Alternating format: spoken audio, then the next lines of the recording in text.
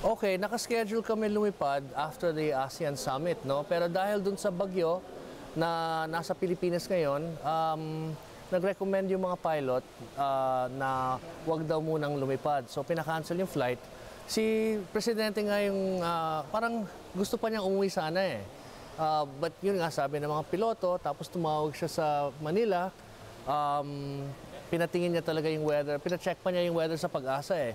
Sabi nga niya kung may pag-asang makauwi, then uwi na tayo. Pero nag, ah, nagsalita na rin yung PSG at sinabi nila base dun sa weather, too much of a risk, mag-overnight na lang tayo dito, bukas ng umaga, doon na tayo lumipad pag naka, nakalagpas na yung storm. May na-compromise po bang schedule ng Pangulo sa Pilipinas? Ha? May na-compromise po bang schedule ng Pangulo? Hindi pa tayo sure, no? Kasi may option tayo, baka makalipad tayo ng 6 a.m. bukas or earlier, baka ma- pwedeng matuloy yung schedule. Kung mas late doon, malamang ay mako-compromise yung schedule. Kung umalis tayo after 6, medyo ano na eh, um, tight na yung schedule. Ano po immediate concerns ng Pangulo sitwasyon sa ating?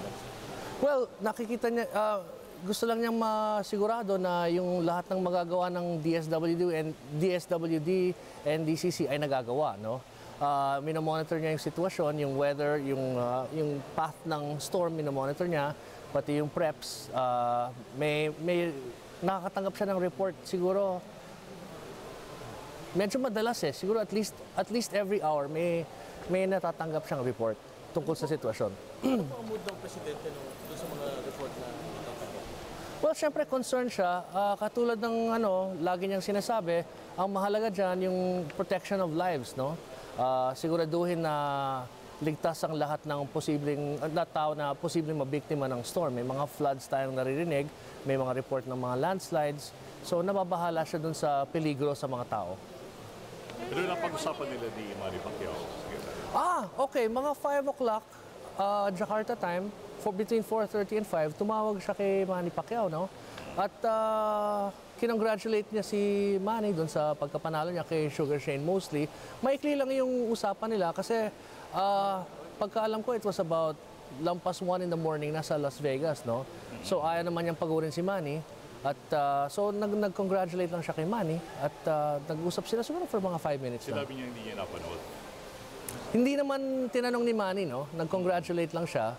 Ah, although hindi napanood ni Presidente ng live, may nag-tape, may taga PSG na nag-tape ng, ah, ng fight, no? Napanood niya siguro yung round 6 to 10 ang napanood niya. Oo, pagkatapos nun, kasi ni-record yun, may konting lull nung pagkatapos ng ah, closing ceremony ng ASEAN at pag-umpisa ng BIMP Iaga, may oras, may panahon siyang konti. So, napanood niya yung apat na rounds. Anong reaction niya dun sa laban? Sa? Sa laban? Saan? Dun sa napanood niya. Okay naman. I mean, syempre, katulad ng lahat ng Pilipino, pag ah, nakita niya yung nahulog si Manny, no? Tapos ang, ang naging reaction niya, uy, parang hindi ata nasapak eh. Parang na, Tinulak. Oo, na, napansin lahat yung lahat ng napansin ng nakanood, napansin din ni Pangulo. Yeah, Secretary, alam kong yeah, maraming concern dito po sa East, ah, itong East Asia, itong Yaga, na dati may init na pinag-uusapan during the FBR time. Ngayon ay mula, mukhang binuhay at ah, mukhang meron daw pong bagong resolution na gustong yeah, kukuha ng ah, Brunei, Malaysia, Indonesia, and Philippines. Ano po ang detalye nito, Secretary? Hindi, sa totoo lang, sir, eh, yung Bimpiaga naman ay kahit ah, nanahimik yung ah, balita tungkol doon, ay patuloy naman na uh, pinopursue yung idea ng Bimpiaga, no? So, ngayong ah, chairman tayo, may pagkakataon tayo na siguro bilisan yung proseso para mabuo yung lahat ng inaano lahat ng ah, gusto natin mangyari sa Bimpiaga. Although iilan tayong bansa dito, no? So, kailangan talaga consensus yan. So, hindi naman natin pwedeng sabihin na next month or next year may mangyayari na dahil talagang consensus building ang style ng ASEAN. Pero sa ilalim ng chairmanship ni Pangulong Aquino, gusto niya sanang mapabilis ng konti yung pag-develop ng Bimpiaga. Yeah, dahil uh, ito'y uh, mag-BB pop sa ating trade. And uh, I understand meron silang request para po rito sa mga budget fare na pwedeng mag-shuttle sa mga Pilipinos at mga foreigners? Well, wala namang ganong request, no? Pero dito sa ginagawa nating ah, ah, liberalization of aviation, ah, inaasahan natin na may mga papasok na mga budget carrier o iba pang mga airline na pwedeng makinabang doon sa Bimpiaga. Kasi m- magkalapit yung yung area na yon, 'di ba? Br- Brunei, Indonesia, Malaysia. So, pag dumami yung flights within that area, ah, mas dadali yung pagbiyahe within the area also. So, wala namang specific na request, no? Pero sinabi natin na dahil dito sa ginagawa nating liberalization of uh, aviation sa Pilipinas, ay baka mapabilis din yung pagtayo ng mga uh, budget carrier doon na mag uh, nalilipad doon sa loob ng region na yon. Paano po siya naging chairman ngayon? Hmm? Paano siya na-elevate as chairman? Well, kasi noong nakaraang taon, tayo dapat ang magiging chair, no? Bago pa kami pumasok sa sa gobyerno, nung nakaraang uh, administrasyon, tayo dapat ang nag-chair. I don't know what happened, but uh, binigay muna sa Indonesia. Tapos, um, something, nag, nag-uusap kahapon eh. And nag-decide, medyo biglaan, nag-decide na ibibigay, ibabalik sa atin ng Indonesia yung chairmanship ng uh, Bimpiaga dahil maraming ginagawang Indonesia ngayon, chair sila ng ASEAN at uh, tayo naman dapat talaga yung naging chairman, so binalik sa atin. Sa totoo lang, nakit, pag nakita niyo, nung nakita niyo yung schedule natin, wala tayong inaasahang magiging chairman tayo ng Bimpiaga, no? So it was kind of unexpected. So kaya siya naging last event ng ah, sa, sa itinerary ni Pangulo because hindi naman talaga natin naasahan na bigla siyang magiging chair ng uh, chair of BIMPIAGA, ano magiging talaga yung priorities natin? Well, yung Bimpiaga kasi may plano na talaga yan eh. Ah, yung katulad nga sinasabi ni Sir Ray na yung ah, um, easy tra- air traffic, um, water traffic, yung sea lanes. So, planado na yan eh, ah, planchado na yan eh. So, ang, ang magiging ano lang ni Pangulo Aquino, titignan niya kung paano mapabilis yung mga programa sa Bimpiaga. And uh, related dito sa rutang ito, Secretary, I understand palalawakin pa ang RORO at magiging international. But uh, apparently mukhang problema po natin eh, sa Pilipinas eh, yeah, it's a fact na umakyat daw po ang mga carnapping dahil po rito sa RORO ito. Well, kailangan isa, isang bahagi yan ng uh, Bimpiaga, no?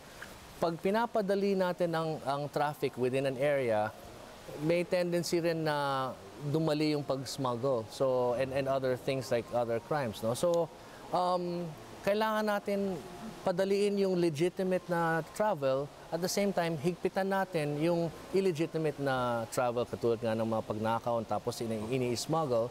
So habang habang um, bini, habang hinihigpitan natin yung law enforcement, nililiberalize naman natin yung um, travel. So it's it's a bit tricky rin eh. Kasi 'di ba, you liberalize that pero uh, you have to tighten yung law enforcement. Aside sa, sa customs, uh, magkaroon tayong immigration doon. Well, I'm not sure the specifics, no, but uh, bahagi naman yung immigration doon sa wala namang wala namang radikal na magbabago doon sa Bimpiaga sa ilalim ni Pangulong Aquino nga eh. Planado na 'yan, may programa na 'yan. Ang gusto lang magawa ni Pangulong Aquino ay mapabilis ng konti yung proseso kasi panahon pa nga ni Pangulong Ramos 'yun, no. Yeah. So, medyo mabagal talaga yung pag-usad ng mga ah, programa ah, sa ilalim ng Bimpiaga dahil yun nga consensus building, iilang bansa yan, hindi lang naman isang ah, isang bansa ang magdidesisyon. So, kailangan talaga makuha mo yung consensus. So, by the very nature of that, medyo mabagal talaga. Pero kung mapabilis natin, di mas mabuti. Yes, natuloy yung bilat sa Vietnam. Ah, napagkasunduan natin sa Vietnam na kung ano man yung mga claims natin sa South China Sea ay hindi dapat ah, mauwi sa gulo yung competing claims, no? So ang sinasabi natin sa Vietnam, ah, maghanap tayo ng paraan para hindi maging tensyonado yung South China Sea. Alam naman natin na may competing claims ang ibang ah, ASEAN countries at ang China. Kung makakahanap tayo ng paraan na ah, makikinabang tayong lahat dito, na hindi naman natin kailangan ah, pag-awayan yung ah, sovereignty issues doon, ay sumasang-ayon ang Vietnam na yun ang dapat natin gawin to pursue peaceful dialogue at the same time uh, maintaining our sovereignty. did they discuss uh, future joint exploration projects in the South China Sea area? No, there was no uh, talk at this point of joint exploration projects.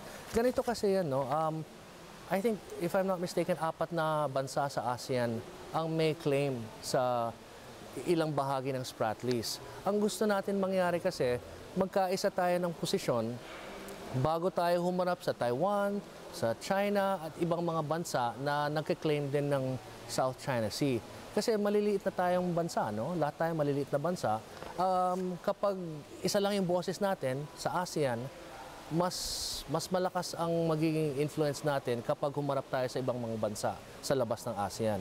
So kailangan talaga magkasundo yung bansang ASEAN, mga lahat ng bansa sa ASEAN na isang posisyon lang talaga ang ang ang ibubuo natin kapag humarap tayo sa ibang mga bansa. Sir, yan din ba yung ni-raise niya during their trip? Hmm? Yan din yung same position na ni-raise niya during their trip? During The retreat? Yes, but the, the at least Vietnam when you have the bilats kasi doon naman sa retreat ang daming mong ang daming nire-raise na issue eh, 'di ba?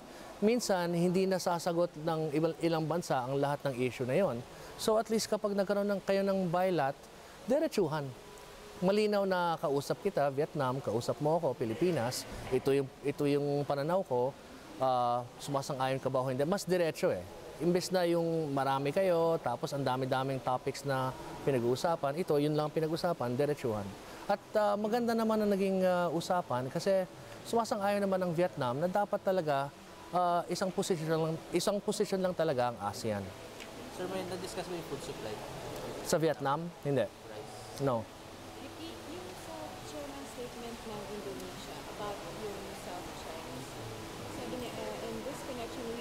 Recognize the territorial and uh, jurisdictional disputes are best addressed bilaterally or amongst the parties concerned. Ang implication ba nun, um, parang we accommodate the position of China to deal with ASEAN claimant countries bilaterally? No, that refers to ASEAN countries dealing with these issues uh, on their own, no? Kunyari, uh, we're talking to Vietnam.